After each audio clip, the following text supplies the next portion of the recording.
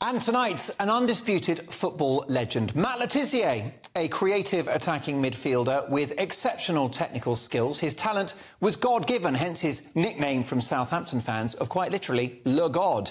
In a professional game where loyalty is a rare commodity, Le Tissier turned down many lucrative offers from top clubs to remain at Southampton for the entirety of his senior career. He was the first midfielder to score 100 goals in the Premier League and won eight caps for England, although Anyone worth their salt in the world of football thinks it should be closer to 80.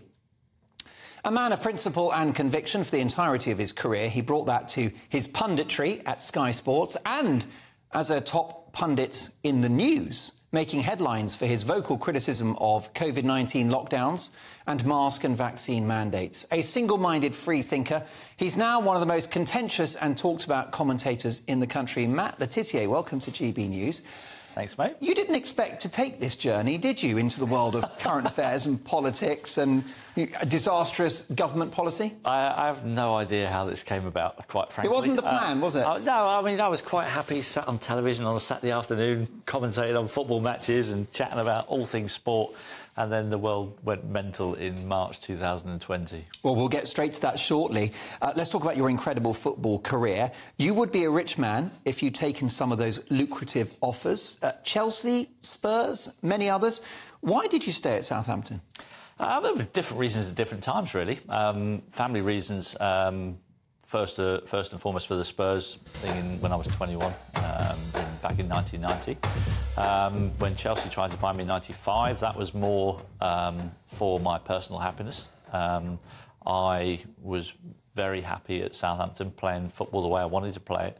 Um, I was never one for uh, going chasing after money. Uh, that was never uh, my goal in life. I loved my football. Uh, I wanted to play it the way I wanted to play it, and I could do that at Southampton, so I chose to stay. And you always wanted to win, but you view football as an entertainment product, and that fans are there to, to have a great time and to enjoy what they're watching. I've always grown up thinking that football should be an entertainment, uh, an entertainment industry. Mm. It shouldn't be about big business and making money. Um, and so for me, uh, my main objective uh, when I went out on a football pitch was, was, to make sure that the people who were paid good money to come and watch the game had something to send them home with a smile on their face. So you wouldn't have wanted to uh, to play for George Graham's Arsenal, for example? I wouldn't have enjoyed the, the boring 1-0 wins, no. Too right. Uh, England is, is clearly the career that got away. Out of your hands, um, having looked at your extensive and amazing story in football, it seems political rather than football based. I think you, you turned down the advances of both Glenn Hoddle and Terry Venables uh, when they were club managers, and you paid the price for England. Yeah, I mean, I, I turned both of those down uh, at, at, various times, and they both went on to become England managers. You know, a couple of years after uh, I turned them down. So. Um, it's difficult to, to actually say that was the reason why because they actually did pick me. You know, uh, Terry gave me a couple of starts, uh, one of which was abandoned after 27 minutes in Dublin, which um, uh, due to crowd trouble, which I, I played in.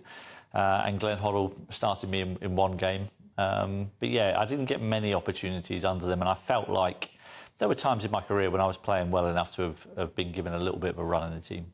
Any lingering anger or bitterness towards the FA for not having more caps? No, I don't do uh, anger. I don't do bitterness. Um, it's that's the way my career went.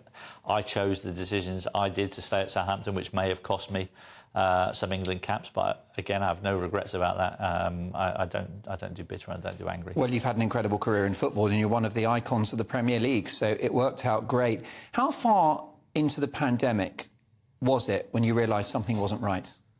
Very early um, from the moment the videos uh, came out of China of the people collapsing in the street, basically, and that was the moment when I went, that doesn't look that doesn't look genuine. That doesn't look real. Uh, because that didn't happen here when COVID arrived, did it? No, strange. It's never happened anywhere else in the world. Yet those videos were cited as you know, one of the reasons why we have to shut down the whole economy, um, ruin uh, a whole bunch of uh, people's lives from the lower and middle classes, and make the uh, people at the top of the tree uh, a whole lot richer.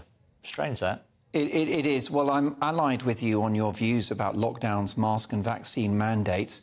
Uh, I've certainly had pushback. I've most likely paid a price. Have you? Uh, have I paid a price? Uh, I guess the, the price people will probably point to is uh, I lost my job. Um, Sky uh, may tell you something different. They, they, they, told us that they just want to take the show in a different direction, um, but uh, they didn't deny that it had something to do with my uh, posts on social media. So um, possibly my job. Um, I guess in the early days, probably my family and close friends thought I'd gone a bit mad mm.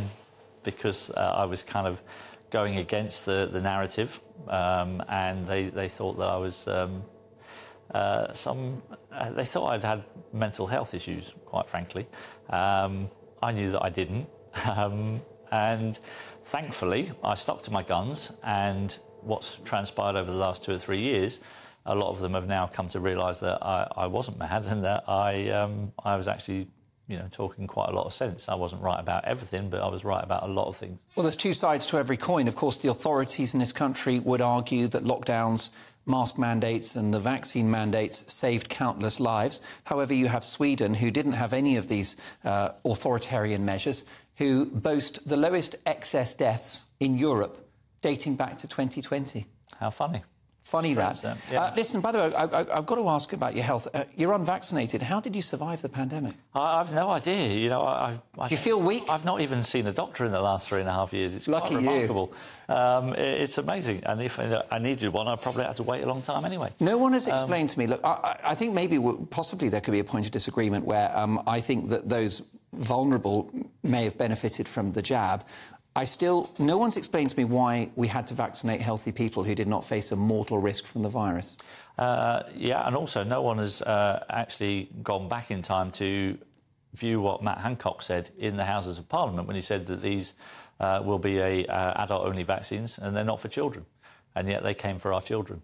Um, and that, for me, no, you know, people gloss over that. There's nobody at the BBC verify going back to verify that one, is there? It made no sense. They didn't verify Joe Biden saying if you get the vaccine, uh, you won't get COVID.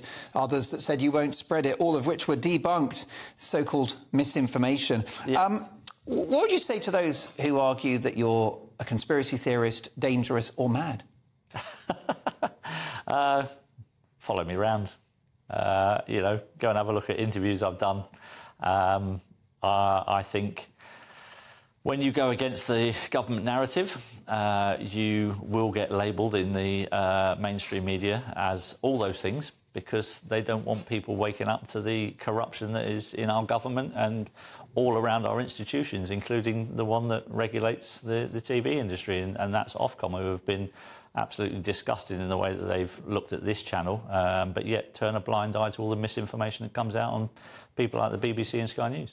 Uh, Matt, we could do an hour I want to thank you so much. It's been a fascinating back. conversation. Do come back. Matt Le Tissier, uh, plenty of opinions. This show is all about opinions, absolutely. And by the way, let me just say that I don't really agree with Matt about Ofcom, and I, I will say that to your face. and the reason why is because I, I, they've looked at a couple of the shows that I've done over the last couple of years in which I was very provocative and sparked a debate, and I thought they handled it very fairly. But that is just my personal experience. But of course, Matthew is entitled to his view as well. Mark at gbnews.com.